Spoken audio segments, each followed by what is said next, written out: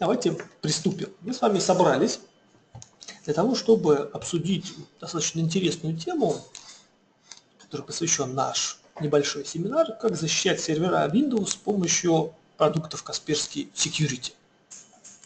Поговорим, что это такие за продукты, что нужно знать про эти сервера. Зовут меня Бойцов Петр, являюсь ведущим преподавателем учебного центра специалист, который является спонсором данного семинара. И э, первое, с чего мы начнем, это поговорим, нужно ли вообще в принципе, возможно, в вашей организации или в проектах, в которых вы участвуете, использовать отдельное решение для защиты серверов. И вообще попробуем ответить на вопрос, задать сами себе ряд вопросов, чтобы принять нужное решение. А вообще нужно ли вам внедрять, поддерживать, обслуживать отдельное решение для защиты серверов. И попытаюсь вам донести, в чем его отличие от стандартных антивирусов, которые защищают и сразу же рабочие станции, и сервера. А, посмотрим, как внедрять данное решение для защиты серверов, как защищаться от вредоносной сетевой активности, которые направлены от каких-то зараженных рабочих станций на наши сервера. И даже не просто поговорим, полистаем красивые слайдики, а еще я вам и покажу, как внедрить данный продукт и каким образом а, можно будет защититься от определенных атак, направленных на сетевые ресурсы на наши сервера. Ну и немножко пару слов расскажем про курс, который действительно более детально во всех подробностях изучает данный продукт вот, в лаборатории Касперского. Наш семинар, он небольшой, заявленное время примерно 45 минут. Практика показывает, что мы обычно не укладываемся в это время, затягивается на час, иногда на полтора часа, в зависимости от там, вопросов, которые в конце вы будете задавать. Но примерно где-то на час планируете и показать мне вам надо что-то, и вам объяснить теоретическую часть. Ну, что, зовут меня Бойцов Петр, можно зайти на сайт специалист, посмотреть на меня, прочитать, сильно заострять внимание не буду, поскольку мы говорим про продукты Касперского, здесь моя профессиональная сертификация по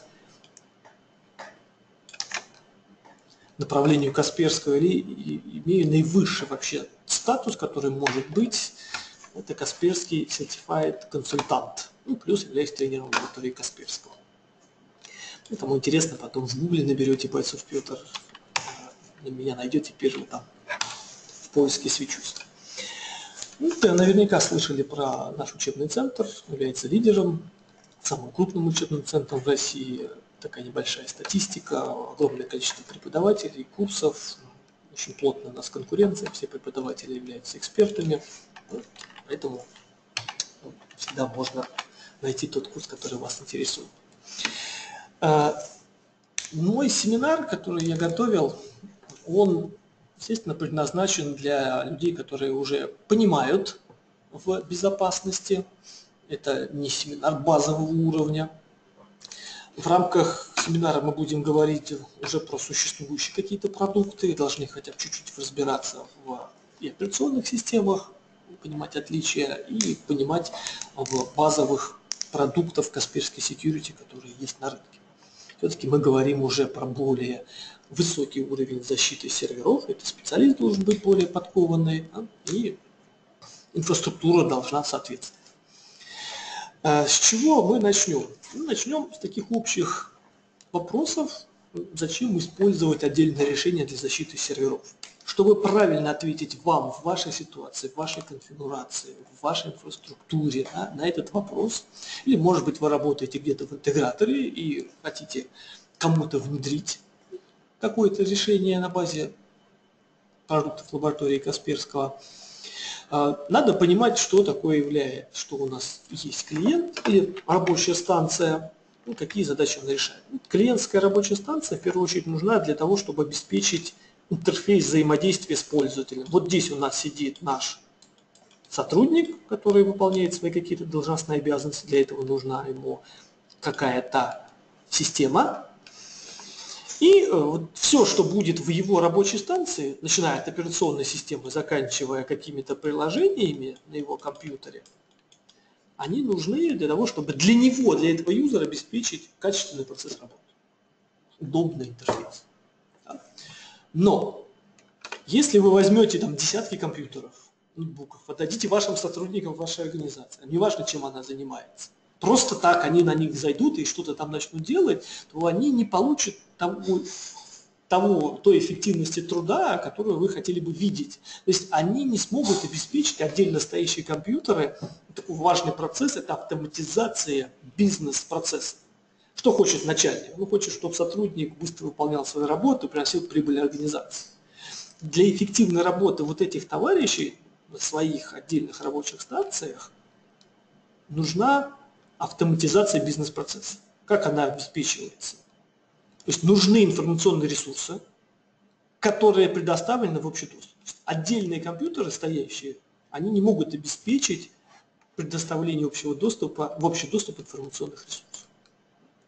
Для того, чтобы это обеспечить и решить вот эту важную задачу автоматизации бизнес-процессов, вам нужен сервер. Сервер, он от слова serve, служить, он является поставщиком информационных ресурсов, и как раз-таки он обеспечивает возможность предоставления информационных ресурсов в общий доступ. На нем будут храниться там общие какие-то данные, к которым будут подключаться клиентские компьютеры и обеспечивать автоматизацию бизнес-процесса. Ну, ни одна компания без этих серверов не существует в текущий момент времени. И к нему, естественно, к серверу подключаются сотни тысяч клиентов для решения своих определенных задач. И требования к этому серверу, они намного выше, чем, опять же, клиентской станции. Теперь, идя вперед, давайте попробуем сами себе задать вопрос. Что будет, если выйдет из строя рабочая станция? Она сломалась или, опять же, завирусовалась, неважно, что с ней случилось, все, клиент не может работать, это вот один сотрудник. В принципе, ничего критичного, придет товарищ, там с отверточкой поковыряется, что-то там пошаманит, галочки поставит, там флешку подключит, все починит. Ну, ладно, я подожду, пока покурю здесь, э, и все хорошо прошло, меня полечили, допустим, меня восстановили, или с бэкапа, неважно как. А что будет, если выйдет из строя сервер? Это для организации может быть большой катастрофой, бизнес может вообще остановиться. Ну, естественно, будет начальник недоволен, да?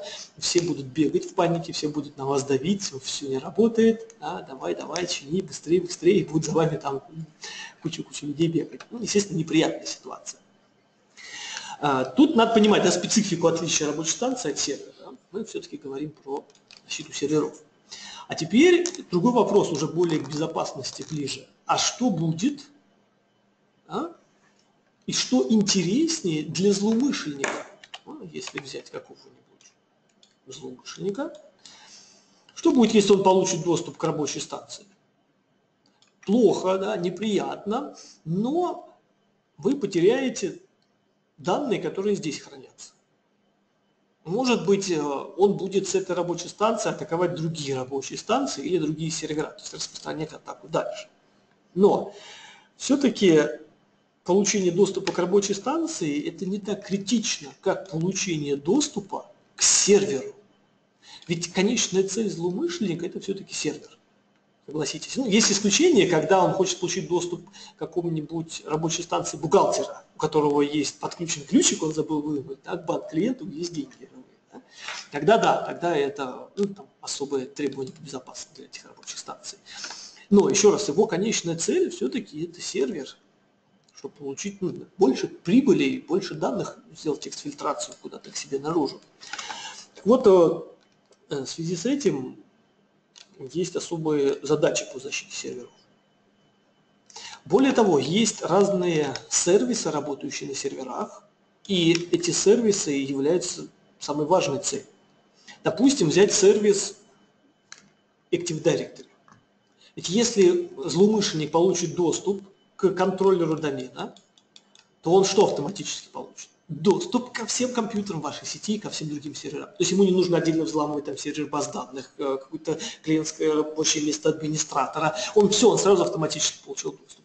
Кстати, это не только Active Directory. Все системы удаленного администрирования, тот же систем центр Microsoft, э, тот же Касперский Security Center, получив доступ к нему и автоматически получает доступ ко всем рабочим станциям и серверам ну, в рамках этого домена. Допустим, да? А, поэтому надо это тоже себе в первую очередь сдавать, потому что все-таки есть специализированные и угрозы направленные сервера, и конечная цель злоумышленников все. Далее. Следующий вопрос, который вы себе задаете для того, чтобы принять правильное решение, что вам на сервер оставить или вообще не ставить, это требования, которые предъявляются к работе серверов. Требования, которые вам ставит начальник, а начальнику ставит там, владельцы бизнеса. Первое. Сервер должен работать стабильно, без сбоев, там, непрерывно 24 на 7, а, и может быть он должен быть отказоустойчивым, даже если вдруг там железо сгорит, все равно все должно для клиентов, для вот этих тысячи клиентов, вот он открывает, там веб-страничку открывает, сетевой ресурс, он должен для него работать. Это одно из самых важнейших требований для сервера, это стабильность. Вторая задача а, – это производительность вот там, часы пиковой нагрузки, утром все пришли на работу, будь то там тысячи клиентов, они не должны ждать там 5 минут, пока загрузится страничка, пока откроется файл, сервер, пока логин, пароль проверится, просто на сервер все равно идут. Он должен работать быстро. А? И, к сожалению, практика показывает, что администраторы, опять же, в том числе иногда и руководители, они очень сильно пренебрегают безопасностью для того, чтобы обеспечить вот эти пункты стабильности и производительность. Ведь согласитесь, любое программное обеспечение, а в том числе в первую очередь программное обеспечение антивирусное, оно крайне снижает эти показатели в том числе и по стабильности. И очень часто из-за того, что там есть требования серьезные по стабильности, непрерывности работы сервера, возможных каких-то сбоев там, после обновления синих экранов, ложных срабатываний того же антивируса, ну никто их не исключает, они есть в каждом продукте. А, просто администратор идет на риск и говорит, я не буду ставить антивирус. Или я его удалю, потому что из-за него возник какой-то сбой. И тысячи клиентов, мы не, не дополучим там миллионной прибыли. Ну и ладно, сколько раз нас взламывали? Пока ни разу. Ну и не взломают, да, вот так думают. Это с одной стороны. С другой стороны, как администраторы могут э, как-то вот себя защитить. Они говорят, ну вообще сервер, он изначально имеет другую немножко архитектуру, он по-другому настроен, он более защищен, чем клиентская рабочая станция. Там не работает никакой пользователь который может сам что-то запустить, куда-то зайти по неправильной ссылке. То есть эти типы атак, в принципе, которые направлены на клиентский компьютер, они на сервере не актуальны во многих своих реализациях.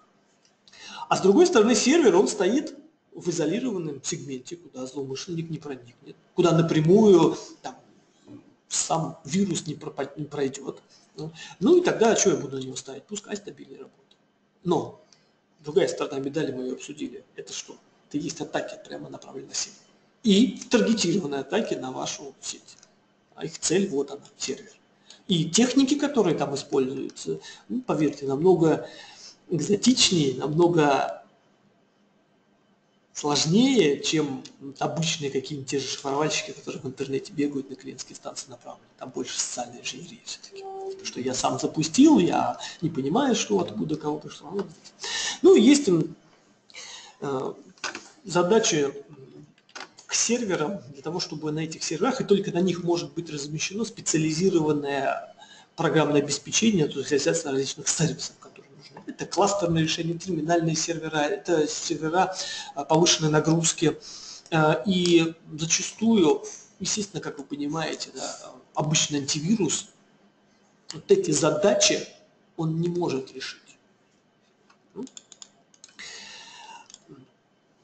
А теперь, какие у Касперского есть решения по защите серверов? Сейчас как раз доберемся до вот этого специализированного это нарисована некая классическая схема, да, что есть некие узлы в нашей организации, есть сервера, тут серверная операционная система, есть клиентская операционная система.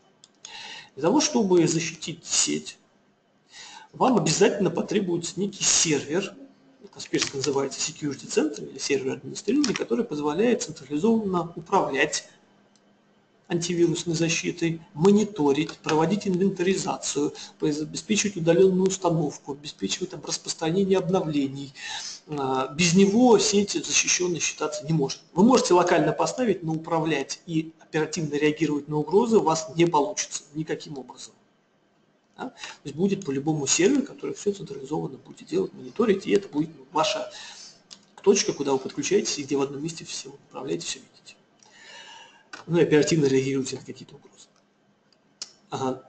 На клиентский компьютер, если это клиентская операционная система, вы будете ставить продукт Kaspersky Endpoint Security. Сейчас 11 версия вышла. 11 версия. 10 была, теперь 11.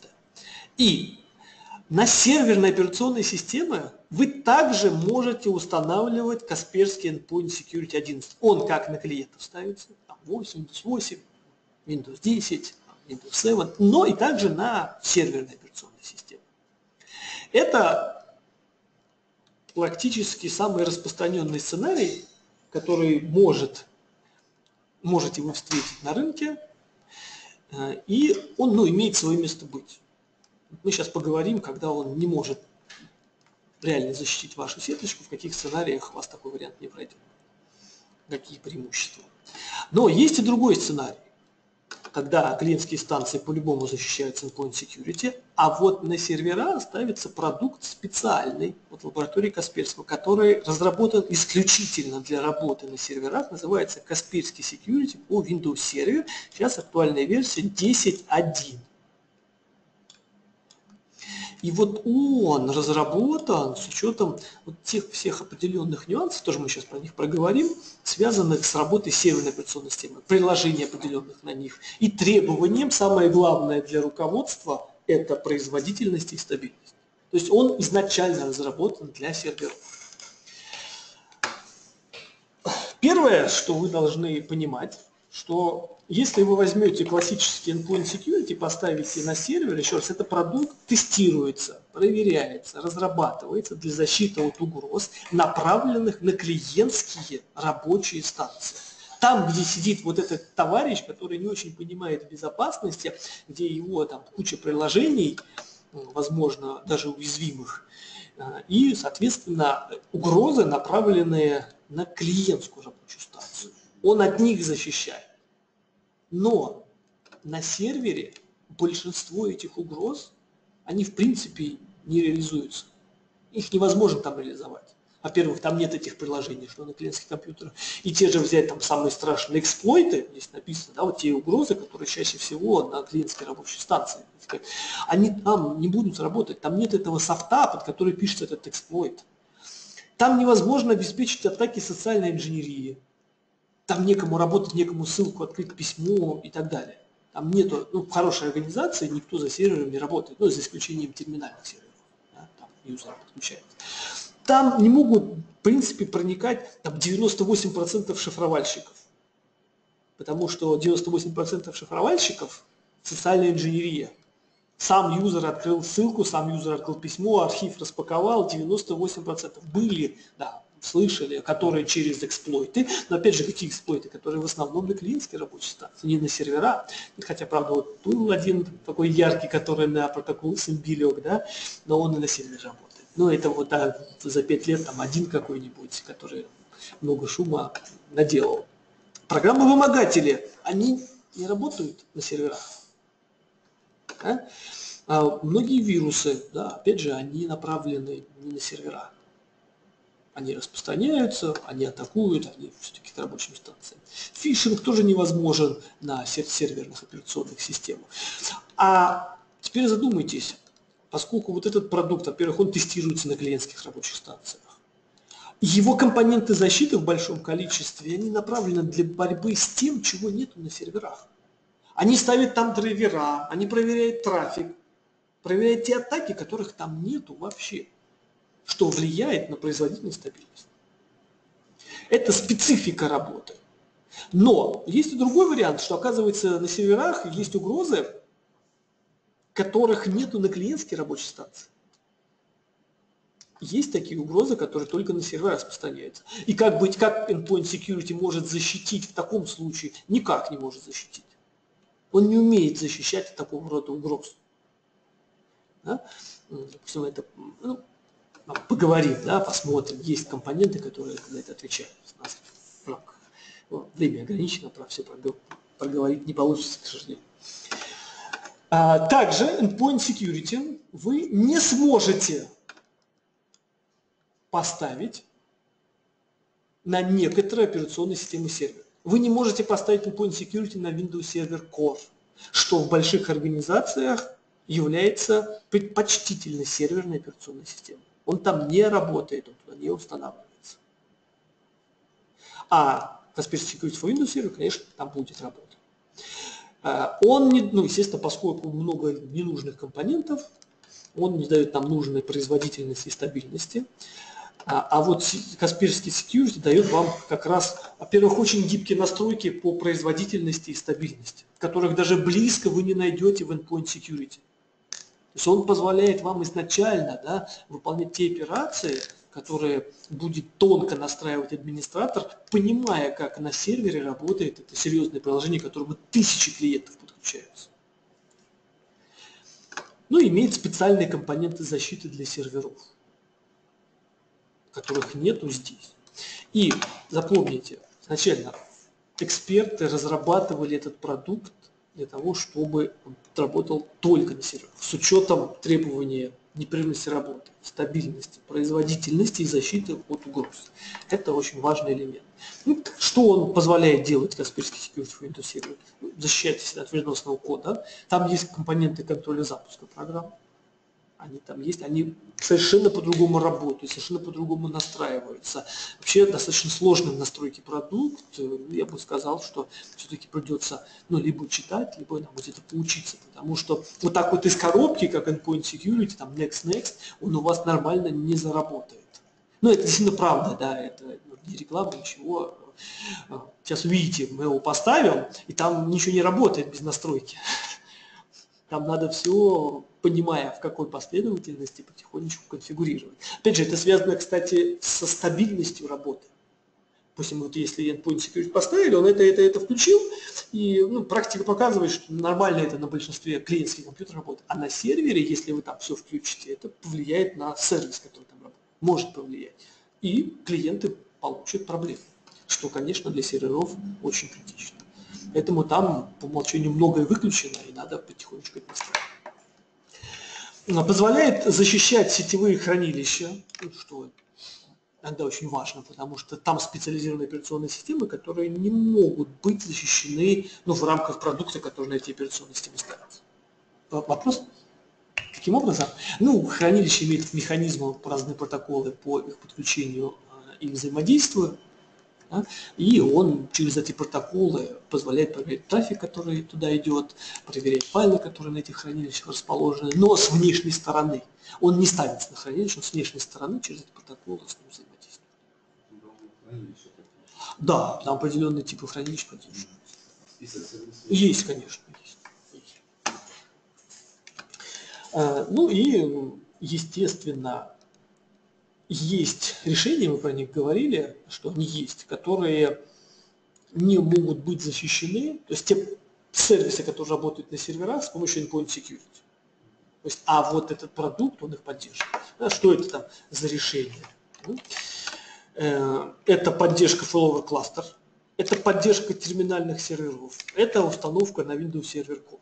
Вот это вот те, тот краеугольный камень, который во многих организациях является проблемой, если они endpoint security только используют.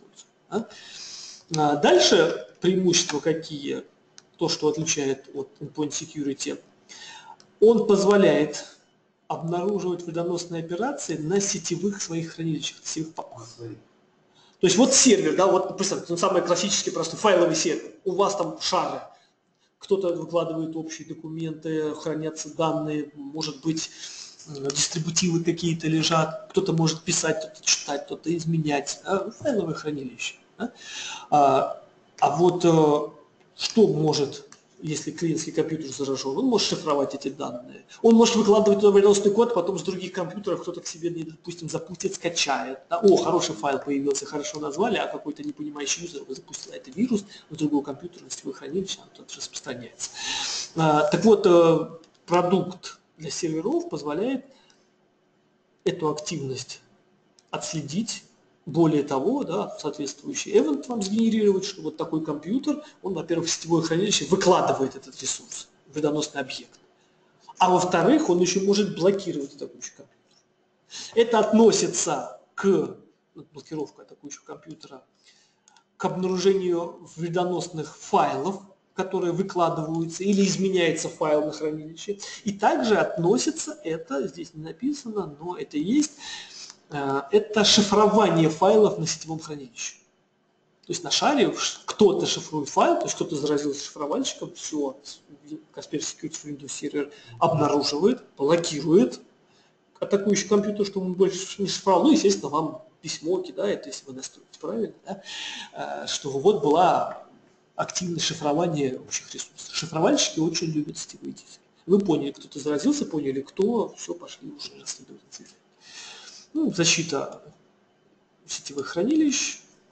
Ну, и важный аспект, что еще раз, там другое антивирусное ядро, совершенно другие настройки, которые изначально разработаны для серверных операционных Вообще он не требует никаких там перезагрузок при установке, при апдейтах. Это все учтено разработчиками. И очень много механизмов, которые позволяют вам очень тонко настроить производительность чтобы это не мешало работе других сервисов на этом сервере. А как будете внедрять, если все-таки вы вот позадавали себе эти вопросы, поняли его преимущества и решились? Что нам нужно? Во-первых, нам нужен сервер администрирования. По-хорошему надо централизованно всем управлять. Он может локально управляться, но нужен желательно сервер. Вы должны подготовить сервер администрирования, поставить плагин администрирования для этого продукта. По умолчанию он не может управлять. Вы не можете ни задачи создать, ни политики, настройки передавать на него, не можете ни удаленную установку провести без плагина. Сейчас покажу, как это сделать. После этого вы создаете инсталляционный пакет сервера Kaspersky Security for Windows Server, чтобы установить этот продукт. А, ну, можно удаленно, можно локально устанавливать, но если много серверов, неудобно, лучше удаленно это сделать. Потом производите установку на защищаемые узлы. Также у этого продукта есть дополнительная консоль администрирования, которая имеет больше функционала больше возможностей, чем ну, классический интерфейс Security Center. Там немного отличий, но они есть все-таки. Дальше вы должны будете произвести настройку, чтобы ваш продукт нормально работал. Это создать задачи обновления, проверки. Задачи обновления надо несколько. В связи с спецификой работы сервера. Не так все просто. Да?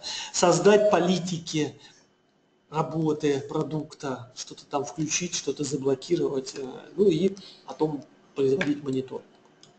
Ну и настройки онлайн-проверки тоже нужно перенастроить. Вот такой процесс. Давайте теперь попробуем посмотреть, как это будет выглядеть.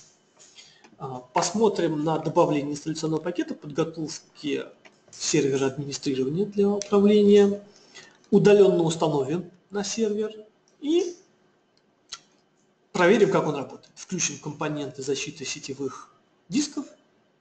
Посмотрим, как он будет реагировать на появление вредоносного кода на сетевом диске. И также по попробуем проэмулировать шифрование файлов на сетевом диске. Посмотрим, как он на это будет реагировать. И покажу, что он будет по умолчанию делать, а потом, что будет делать после настроек. По умолчанию, как вы думаете, что он будет делать? Ну, вредоносный объект он удалит, но ничего делать ни шифровальщиком не будет, ничего не будет делать с как компьютером, который выложил вредоносный объект по умолчанию, пока вы не перенастроите но вашу систему. А, ну, после настроек будет, а по умолчанию никого не блокирует никого.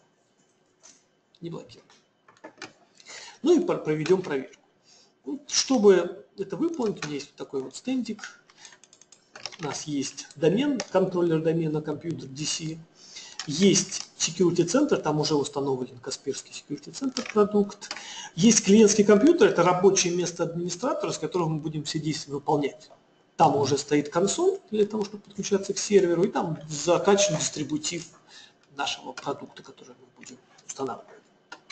И вот здесь есть терминальный сервер, И вот есть два узла, но мы уже не будем их задействовать. Там стоит Windows Flower Clustering, тоже на курс, когда придете, будем защищать кластерные решения, там будем на них смотреть. А так пока база. Я иду на клиентский компьютер, все закрою. Так, наверное, сделаю, чтобы виднее было. Ну, смотрите, что здесь есть по умолчанию. Это Windows 10 рабочая станция, и у меня стоит Kaspersky Security Center консоль. Я ее запускаю, подключается к серверу,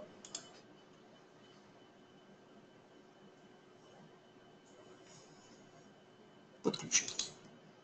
А, здесь стоит английская версия. А, кстати, забегая чуть вперед, если вдруг кто планирует пойти на курс, а, этот курс нигде не читается. Это официальный курс лаборатории Касперского. Он очень редкий. Нужна специфика, подготовка человека, который может его читать. И он на английском языке. Только на английском языке. С лабораторией Касперского, хоть и русский производитель, она его на русском языке не делает, он только на английском языке. То есть, опять же, все стенды, книга студента, лабораторная работа на английском.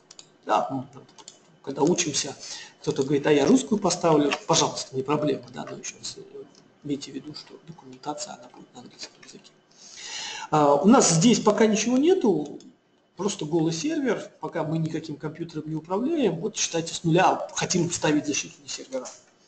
Если я захочу вот здесь что-то делать, создать дистрибутив, а, создать политику, создать задачу удаленной установки именно этого продукта, у меня ничего не получится, что по умолчанию он продуктом Kaspersky Security for Windows Server не управляет. Нам нужно подготовить его. Как он готовится? Берете дистрибутив Kaspersky Security for Windows Server, сайта Kaspersky качаете, запускаете вот этот скач 10.1 версии. Вот он так запускается. Он говорит, давайте нажмите-ка вот сюда и устанавливается плагин администрирования для того, чтобы вы через вот этот удобный, привычный для многих интерфейс могли управлять новым продуктом. Да? Сейчас, если я посмотрю, допустим, хочу создать политику, которая передает настройки на, на тысячи компьютеров, где стоит данный продукт. Видите, здесь нету политики для Kaspersky Security Windows Server, ну, только есть для агента и для Endpoint Security. А это на сам сервер политика. Да? Security Center. А вот если я поставлю плагин, нажимаю, он устанавливается, можно воспользоваться и консолью сервера администрирования. Для а это одно, одно... Да, там внутри есть, да, если вы качаете Security Center, то внутри есть плагин для этого продукта, он есть. Но иногда бывает, что он там устаревший. Поэтому желательно взять плагин самый последний. Что Security Center они там обновляют по своему периоду, да? Вот они собрали дистрибутив Security Center, они добавили плагин на тот момент. А вышел апдейт 10.1 на Kaspersky Security for Windows Server. О, плагин-то там другой, там галочки другие, компоненты защиты другие, вам придется там, устанавливать. А если я не обновлю его? Если... Да, там есть кнопочка обновления теперь. Есть. Да, можно закачать и опять запустить. Ну, новый продукт, новые галочки, новый плагин. Все он дает вам графический интерфейс по управлению данной версией антивируса.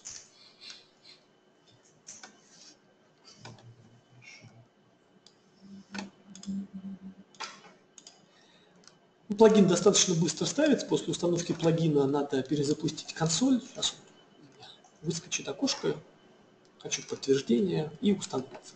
После того, как мы поставим плагин, мы можем переходить к следующему шагу. Это непосредственно окошко выскочило, установится. Подготовка инсталляционного пакета.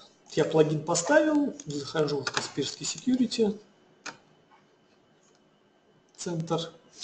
Пытается запустить мастер, который как-то настроит систему, чтобы управлять этим новым продуктом. Он нам не нужен. Всякую ерунду не там посоздает, потом будете мучиться.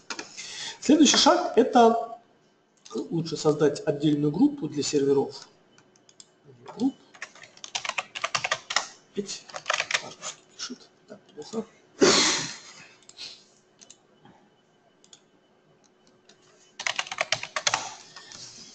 А потом сюда мы перенесем вот эти сервера, которые будут нас защищаться. Можем даже сразу же их заранее перенести. У нас есть компьютеры. Remove HDS наш компьютер. Ну и можем на DC поставить, на контроллер DB. Ну, кстати, очень хороший претендент. Кстати, более того, там есть в продукте настройки по умолчанию, которые именно для серверов специфичны. Допустим, там уже сделано исключение, что не нужно проверять на контроллерах домена, что Microsoft рекомендует. Чего нету в Endpoint Security обычно. То есть там еще и для нас какие-то бонусы сделаны, чтобы мы не сильно мучились по настройкам. А, здесь я добавил два устройства, да, которые есть в нашей сети, два сервера, на которые потом будем устанавливать. Теперь готовим инсталляционный пакет. Идем в группу удаленной установки и создаю инсталляционный пакет. Инсталляционный пакет продукта лаборатории Касперского. Не поленитесь написать правильное название, версию, релиз, потом, и когда будет там десятки, запутаетесь. А здесь, смотрите, что нам нужно указать. Мы дистрибутив скачали, и в рамках дистрибутива есть папочка сервер и конфиг файл cut нужен. Это вот их конфиг файл для того, чтобы инсталляционный пакет добавить. Вот, вот Kaspersky Security 10.1. То есть, простите, нужен конфигурационный файл указывать при создании, при создании а, нет, это для того, чтобы создать. Инсталляционный пакет. Да. А, Вот дистрибутив скачали, он там есть в этом дистрибутиве. Это просто дистрибутив, я указал нужный файлик. Все, он собирает дистрибутив, выкладывает на наш сервер администратор. Для того, чтобы я потом мог этот дистрибутив, ну, внести изменения в конфигурацию, ну, вдруг что-то не хотим устанавливать, да, или какие-то доп. настройки мне нужны. Настройки там много, больше, чем в Security. Да? А потом уже устанавливать централизованно через сервер с помощью этого дистрибутива на клиентский компьютер.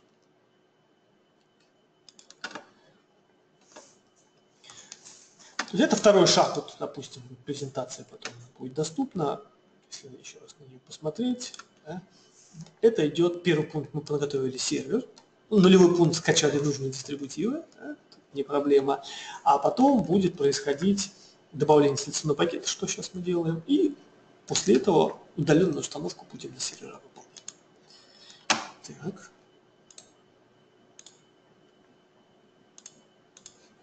Все, он добавился.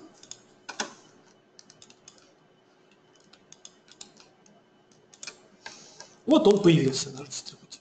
Вот его размер достаточно небольшой. Ну, плюс там еще добавится антивирусная база.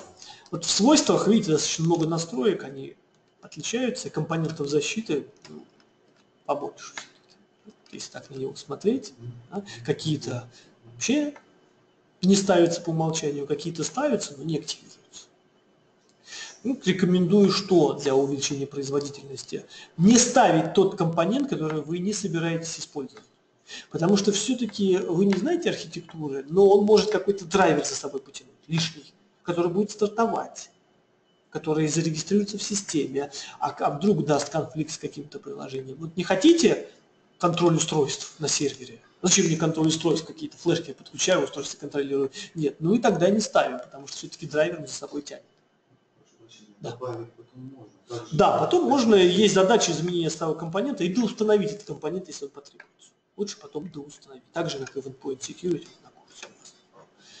Тоже рекомендую то же самое. Да? Какие-то доп. настройки, но еще раз, да, детально все это потом будем изучать. А Вот он есть инсталляционный пакет. Вот он готов, посмотрели, внесли изменения. Теперь хочу установить. А, Мы когда говорим про удаленное администрирование наших рабочих станций и серверов в том числе, то у Касперского какая архитектура? Вам нужно не только антивирус поставить на клиентский компьютер, но еще отдельный продукт называется агент администрирования. Без него управлять этим компьютером у вас не получится через Касперский Security Center. То есть надо поставить агент администрирования и антивирус. Вот это проще всего сделать вот таким образом. Создать задание удаленной установки, в рамках которого поставится и антивирус, и агент администрирования. Я говорю, создать задание. А есть задание установить приложение удаленно.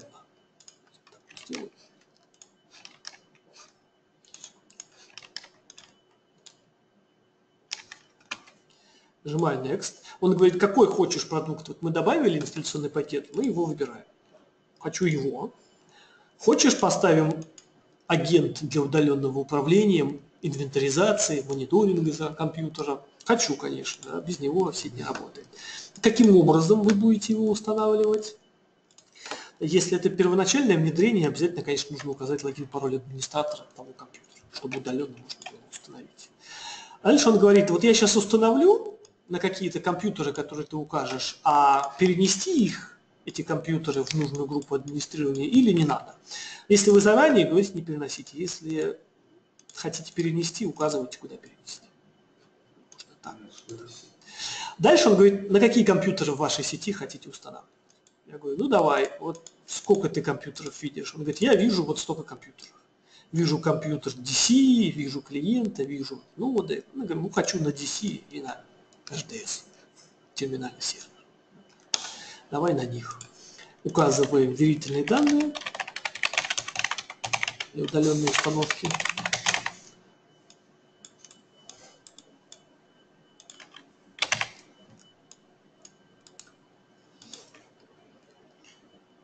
Ну и как часто install, application remove.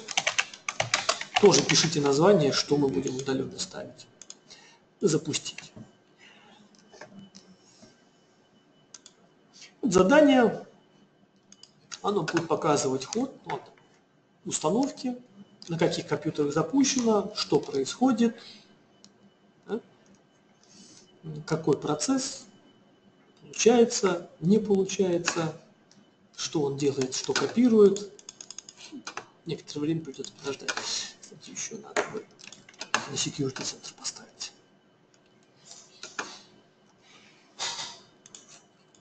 Одно задание сделаю.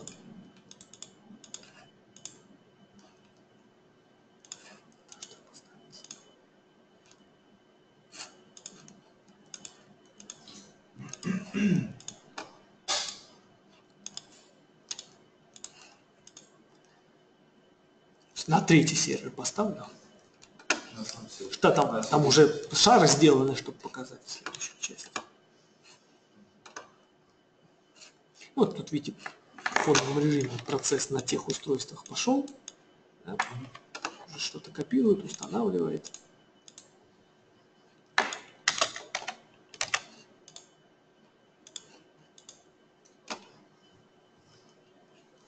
Э, никаких перезагрузок, никаких э, со стороны там, сервера проблем при установке именно этого продукта заявляется, что нет.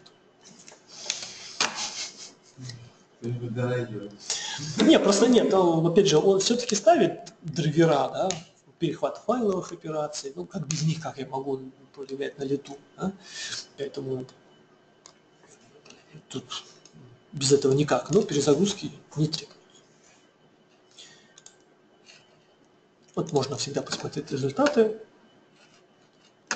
каждого шага. Вначале он устанавливает агент администрирования, копирует туда данные, запускает службу удаленной установки, завершил установку агента, а потом идет установка антивируса. Через некоторое время все это у нас заработает. Хорошо, э, вот мы установили. Сейчас он запустится, заработает. Что будет дальше? Дальше он здесь покажет, что есть антивирус. Видите, он уже позеленел один из компьютеров, говорит, агент, я уже вижу там IP-адрес, какие-то данные с него получу. Если посмотреть, зайти в свойства, то видно, а, что собрал уже аппаратную составляющую, какие там, какое программное обеспечение сейчас соберется, да, что вот видите, с этого компьютера мы видим кто там, допустим, залогинен, если есть активные пользователи, показывать. А следующий шаг – это создание политики, которая будет передавать настройки для вашего нового продукта будущих серверов. Политики по умолчанию, они вообще не нужны, все равно не работают. Ну, не, не к кому применяться. А, создаем новую политику защиты для Kaspersky Security for Windows Server. Kaspersky Security for Windows Server задаем. Если вы когда-нибудь работали, то увидите, что те настройки, которые здесь, они очень сильно отличаются от классического антивируса. Защита локальная, контроль устройств, ничего общего по конфигурированию с endpoint security здесь нет. И практически все компоненты защиты, ну вот, кроме real-time file protection, они выключены. И настройки здесь ну, отличаются. Надо поразбираться. Вот это объект, который мы создали, это свод локальных настроек антивируса, вынесен на уровень сервера. То, что я здесь буду менять, допустим, хочу поменять настройку файлового антивируса Real-Time File Protection. Да? Хочу там эвристику сделать глубокую. Да? Ну, вот. Я поменял на десятки серверов, настройка изменилась. И применяется практически моментально изменение. Такие нажал, все применяется. А также пока там идет установка, давайте установим консоль администрирования. Это альтернативный интерфейс управления данным продуктом. Единственный минус этой консоли, она подключается один к одному. То есть вы в ней не можете изменить настройки на десятки серверов. Она один к одному, может менять настройки один к одному, показывает конфигурацию, но этого одного сервера, который будет через нее подключиться. Ну и там есть ряд элементов, которых, которые нельзя выполнить, нельзя промониторить через security центр. Только через эту Редкая задача, но возможно потребуется. А, окей. Тоже ее установим. Проверим, как у нас идет установка антивируса.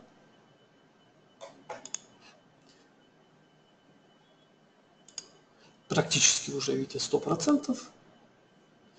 Всего, да, сейчас он ждет. Консоль нет, Максим. Вот консоль, которую отдельно вы устанавливаете, работает напрямую без агента администрирования. Агент администрирования не нужен. Это тоже, кстати, некие, может быть, даже и преимущество. Да? Потому что в некоторых сценариях, может быть, я не могу агента, не могу обеспечить механизм, который нужен для работы агента, для удаленного администрирования через этого агента. Поэтому он может быть отдельно. А, да, может быть, у вас нет вообще security центра, вы через агента не хотите. Э, почему так? А, запомните, локального интерфейса управления Kaspersky Security for Windows Server нету. В Endpoint Security вы можете локально открыть и иметь настройку. На сервер Kaspersky Security for Windows Server локального механизма управления нету. Только командная строчка. Только управляется через вот эту консоль. Но это отдельный продукт, который отдельно ставится. Вот я его сейчас установлю. Обязательно нужна эта галочка «Разрешить удаленное управление». Там очень сложная архитектура, на курсе мы изучаем. Он в обе стороны требуется открытые RPC-соединения, потому что он производит онлайн-подключение, и все операции, которые на сервере происходят, они вот в открытую консоль попадают с той стороны. Не только в сторону сервера, нужны и в обратную сторону еще открытые соединения и исключение для процесса этой консоли и процесса, который для клиента обеспечивает взаимодействие с, ну, по сути, с настройками локально. Там тоже есть нюансы свои. Да? Так, окей, я Максиму ответил на этот вопрос. Так, так, так, так.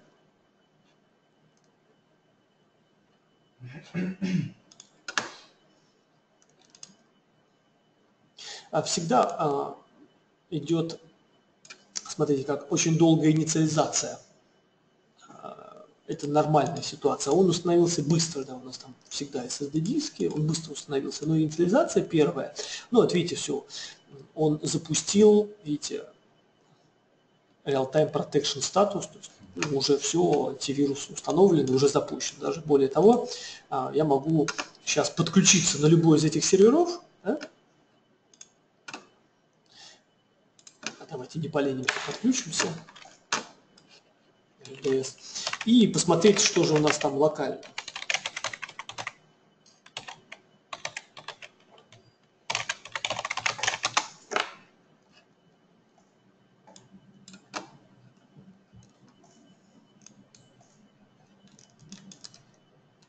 Я иду на сервер RDS.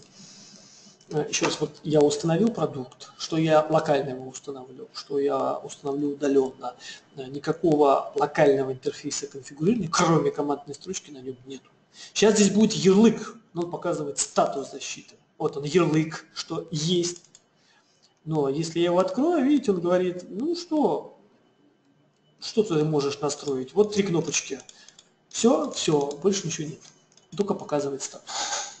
Говорит, ну лицензии у вас нету, это у вас нету, без лицензии плохо, надо установить. Сейчас тоже я ее установлю. Но видите, установился, все хорошо. На сервере сейчас увидим, что снова заработал.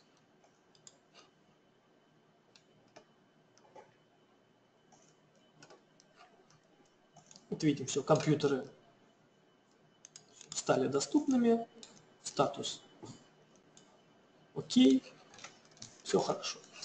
А теперь проверим на security центре, как он установился.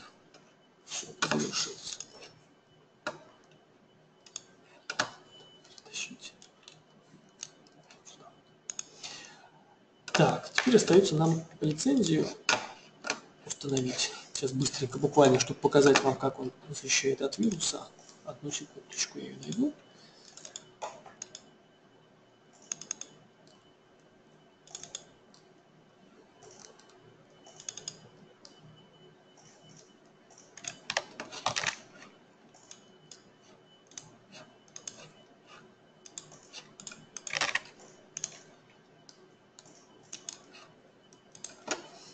Лицензию тоже централизованно мы добавим. Kaspersky Lab License. Покажу, что у меня есть лицензия. И даже можно сделать вот так, что а, если вдруг будет компьютер, которому нужна лицензия, автоматически передавай на этот компьютер. Ну, можно создать отдельную задачу, которая форсированно а, будет активировать наши вот клиентские компьютеры. Если там не хотим ждать синхронизации, можем вот так вот сделать. Эти компьютеры, давай активируйся.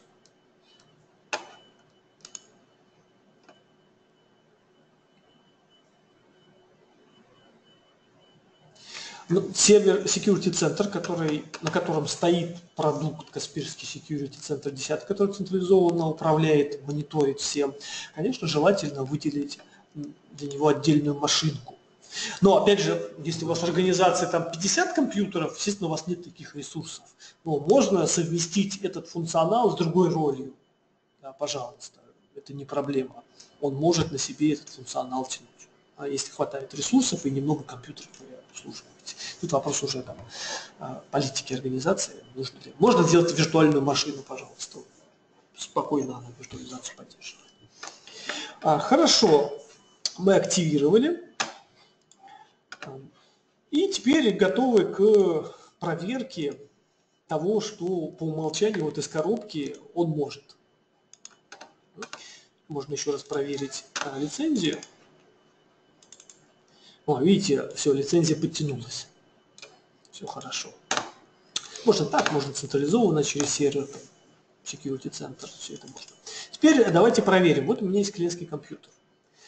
А, я сейчас подключаюсь к компьютеру, который защищен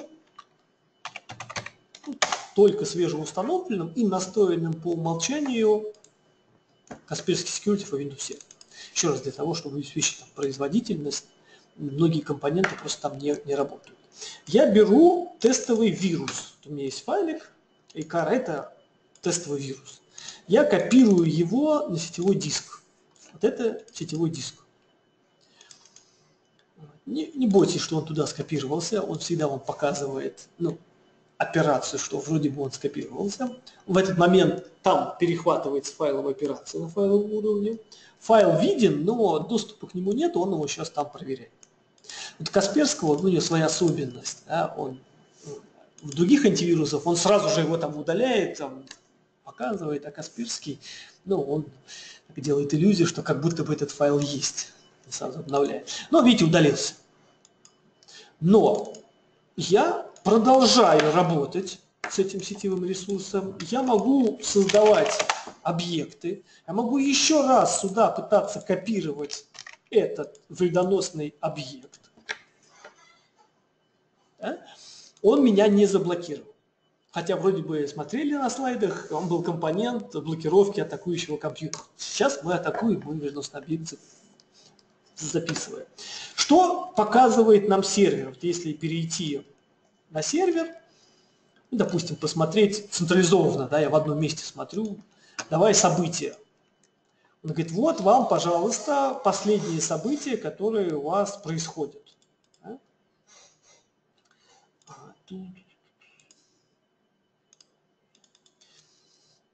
А, был обнаружен вредоносный объект, кто его туда положил, такой-то пользователь Алекс показывает, вот такой-то объект, я его удалил. Все события, обратите, сразу они на сервер попали.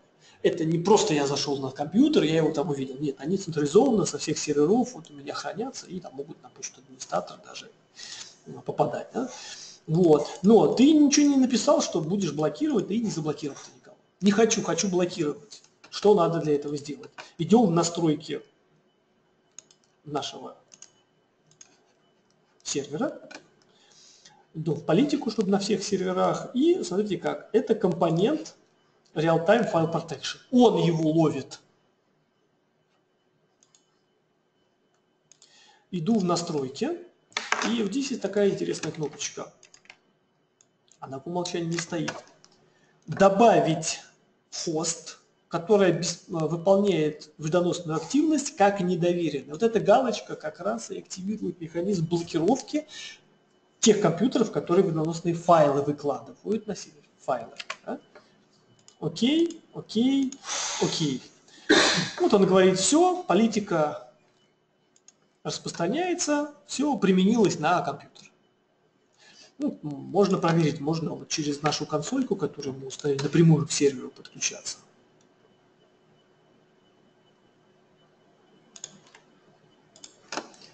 Так, кстати, она выглядит, эта альтернативная консолька.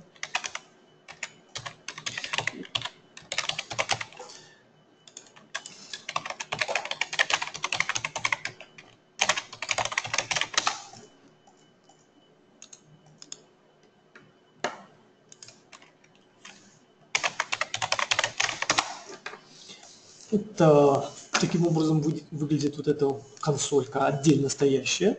Видите, он показывает, о, я обнаружил вредоносный объект, можно перейти в события, вот они события, два раза такой-то юзер а, что-то делал. Ну, здесь можно и менять настройки, и смотреть, что с каждым компонентом защиты его статистика более там, серьезная, да, чем мы можем увидеть на security центре. Какие-то настройки, конфигурация, тут можно дополнительно смотреть. Вот если я посмотрю свойства, то видите, вот эта галочка, которую мы на сервере поставили, она сюда приехала. Ну, как еще один механизм проверки, а действительно работает централизованная настройка. Ну, работает, да.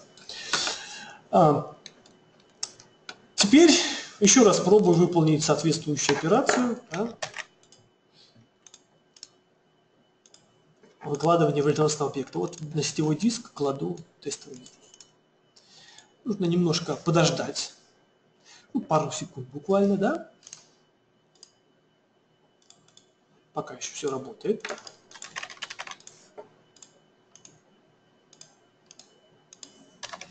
Только вот этот объект отсюда удалится, применится уже и блокировка моего компьютера.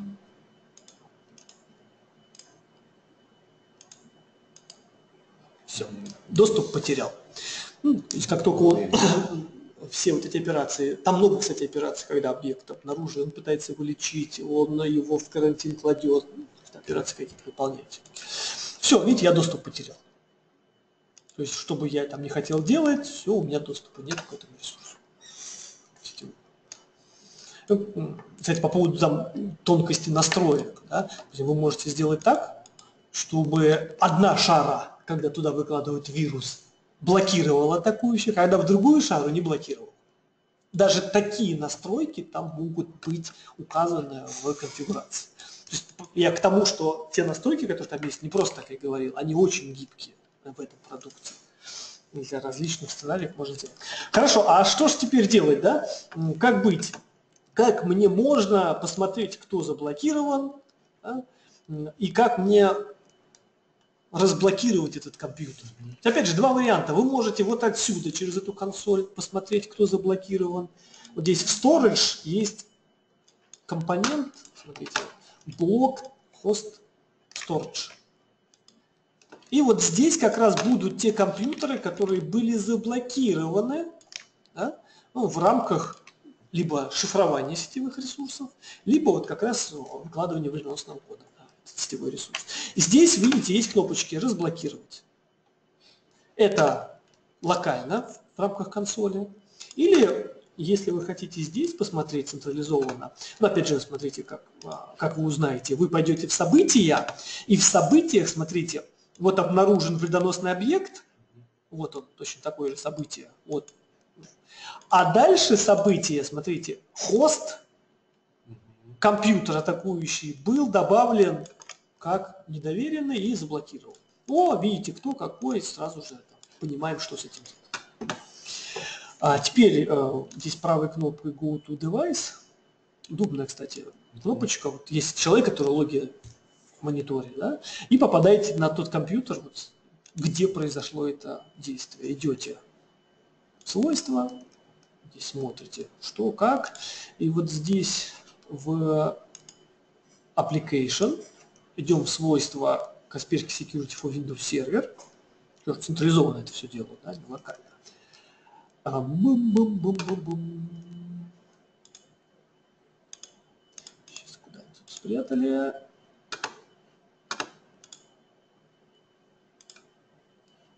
Storage, блок host storage. И вот здесь кнопочка блок host list. Вот. То же самое вижу. И отсюда могу clear, очистить. Все, убрал. Окей, окей, все, теперь компьютер через пару секунд будет разблокирован. Все, разблокировали, еще раз проверяю. Так. Все, видите, попал. Теперь хочу шифровальщик. Хочу зашифровать что-то.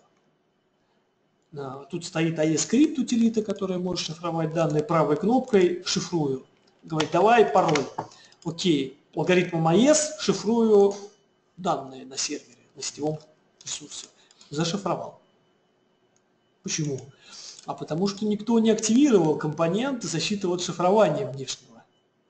И буду себе шифровать, никто мне доступ не блокирует, а этот файл оригинальный вот удаляю. Все, нет, зашифровал все, платите мне деньги, я вымогатель. Ну, так не пойдет, надо перенастраивать.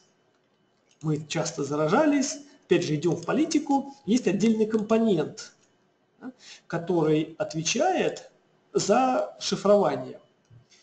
Идем, идем, идем, идем. Ну, вот, антикриптор for NetApp.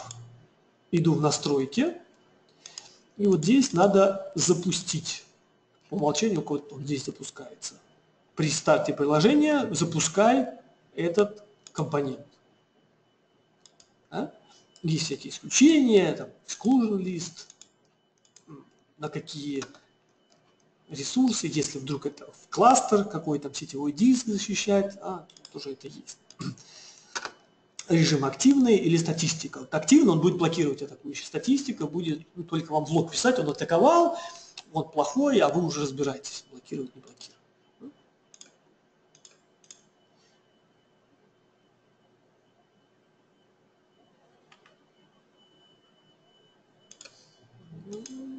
А что, не хочет? Актив.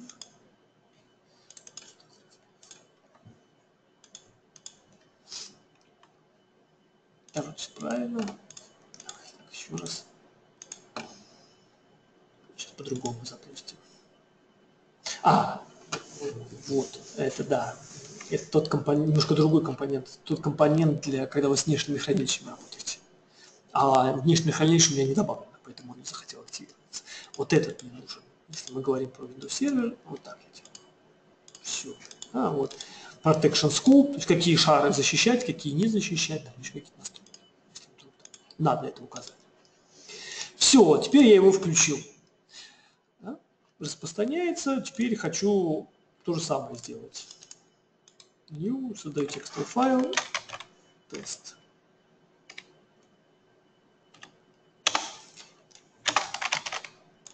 А теперь его шифрую.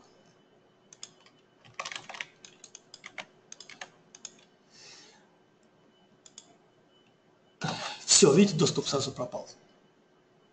Ну, побыстрее работает, чем защита файлов антивируса. Он, видите, меня сразу же выкинул. А, на самом деле ну, файл, скорее всего, зашифровался, потому что все-таки операцию файла он выполнил, но один, не все файлы. Но доступ я потерял. И компьютер, который это выполнял, ну, он точно так же попадает, видите, вот в этот список. Есть это я уже попал, но уже по другой причине, да? Потому что я шифровал. И в логах будет другая информация, что было шифрование и другой компонент защиты, его сделал. Ну, надо активировать, надо понимать. Ну, так вот мы с вами быстренько посмотрели на то, как установить, как подготовить систему, как выполнить такие базовые настройки и как он выполняет защиту, даже где эти логи централизованно смотреть и проверять. Что надо сказать а, по выводам? Что мы должны понимать, что серверная операционная система – это не клиентская. Там другие методы проникновения угрозы. Нужны другие компоненты защиты. Да? Их там больше, а те компоненты, которые для обычных рабочих станций, там выпилены для стабильности, они там не нужны.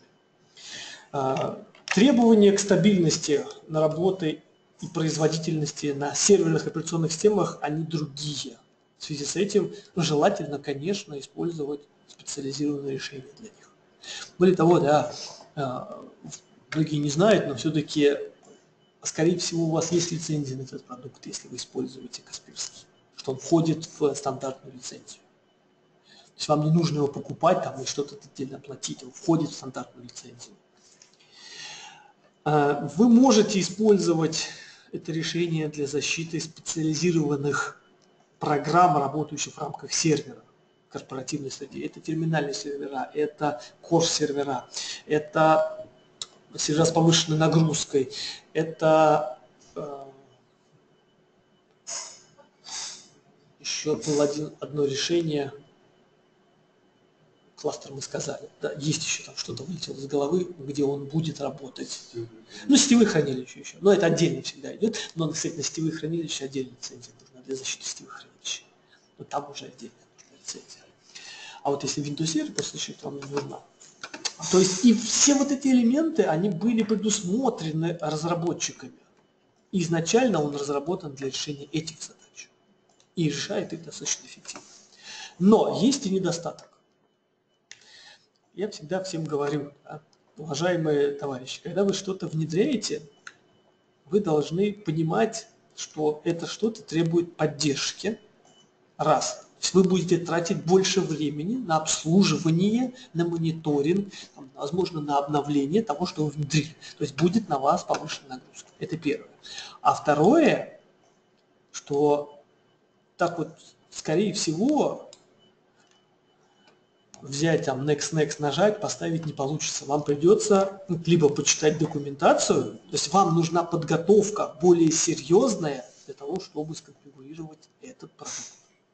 То есть нужна подготовка специалиста. То есть это опять же затраты для вашей организации. И э, итоговый вывод, смотрите, если у вас небольшая организация, да? Вы знаете, как работает security центр, у вас есть endpoint security, у вас немного серверов, и там нет вот этих специализированных задач, то спокойно на нем и оставайтесь. Или там планируйте или предлагайте клиентам внедрять классический endpoint security для защиты серверов. Он тоже решает свои задачи, он, от него отказываться нельзя. Но если вы сталкиваетесь с одной из тех задач, которые решает Security, for Windows Server, если вам нужна более стабильная работа, более производительная и защита от целенаправленных угроз, направленных на сервер, конечно, вам надо посмотреть в сторону Kaspersky Security for Windows Server. Да, естественно, обязательно. Он вообще ставит... Касперский Endpoint Security, а Касперский. Да, если у вас терминальный сервер, то если вы там ставите endpoint security, вы ждите больших проблем.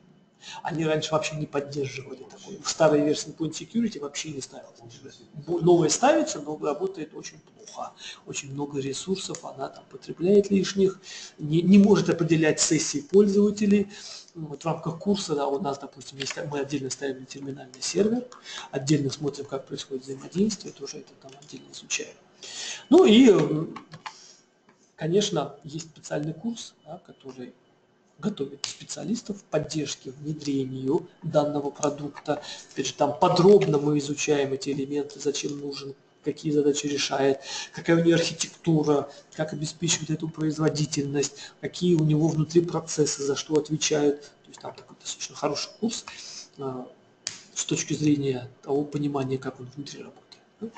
Ну и я в курсе всегда уделяю особое внимание работе вот этих компонентов, которые пока вам, скорее всего, неизвестны. Это защита антималвея, антикриптор, Trusted Host Block. Там еще новые несколько механизмов появились.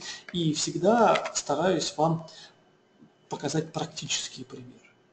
А, Где, что, почему. Да, ну, соответственно, навыки вы приобретете, прослушав курс. Полный спектр знаний по обслуживанию этого продукта.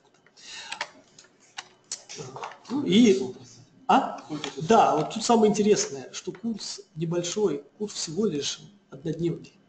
Но еще раз, он не с нулевого уровня. Вы пришли и вы, изучим, вы должны знать security центр, вы должны знать, как работает endpoint security, да, и вы решили поставить Kaspersky Security в Windows сервер. Тогда нам вот этих 8 часов достаточно. И с лабораторными работами, и вот с этой углубленной теорией, плюс опять же, видите, э, я показываю демонстрации атак, как это происходит. да. Иногда там заиграемся, вообще сложную атаку реализуем, посмотрим, сможет ли он защитить или не сможет. да. То есть вы получите не просто понимание того, как защищаться, а понимание, от чего вы должны защищаться. да. То есть, ну, это уже я только показываю в рамках своего проведения этого курса. Ну и, естественно, если вопросы э, задавайте. Еще раз, курс небольшой, ну, поскольку небольшой, совсем недорого стоит. Курс официально от лаборатории Касперского получаете сертификаты от нашего учебного центра и от лаборатории Касперского, экспертов по этому продукту. Поэтому, ну, пожалуйста, а, Надеюсь, было полезно, интересно то, что я вам показал и рассказал. Ну и у вас появилось ну, хотя бы такое базовое понимание по защите серверов и что может этот продукт, от чего вас защитить. А, Если есть вопросы, пишите в чат, буду на них отвечать. Можно голосом, кто здесь. А, Да, пожалуйста. Пожалуйста, пожалуйста. Ну, ждем вас, конечно, на курсах, чтобы уж детально поговорить и с вами лично познакомиться со всем.